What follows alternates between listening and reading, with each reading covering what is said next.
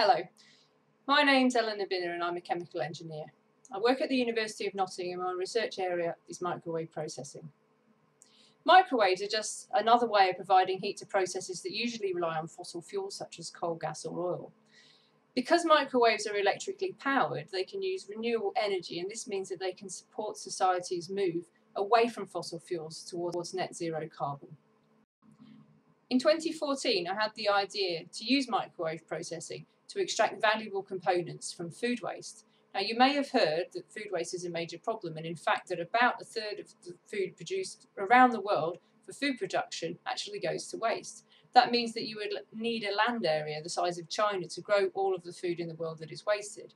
And in fact, if food waste were a country, it would be the world's third largest emitter of greenhouse gases. So this is a big challenge and something that I wanted to, to help to address.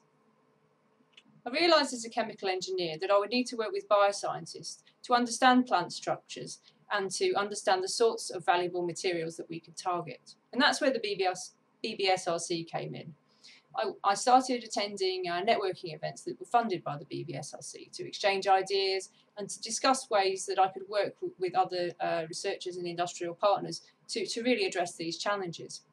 At one of these events I met Bob Rastall and he was coming up the, at the problem from a different angle. He wanted to extract a specific product, prebiotics, from plant-based food waste, but there was no existing industrial process to do this.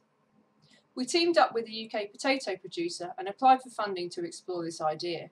We used the funding to develop a microwave process to extract um, materials from potato waste we developed for the first time a continuous process that is able to extract the target materials at large enough quantities to assess their prebiotic potential in human trials.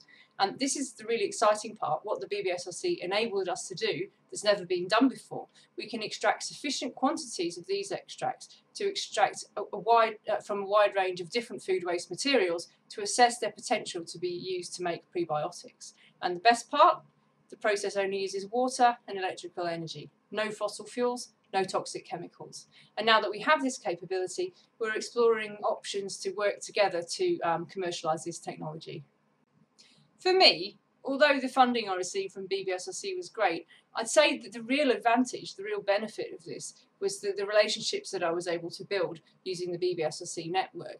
Not only because I could access skills to enable me to address the challenge that I needed, but also because it enabled me to have ideas that I wouldn't have ever had on my own.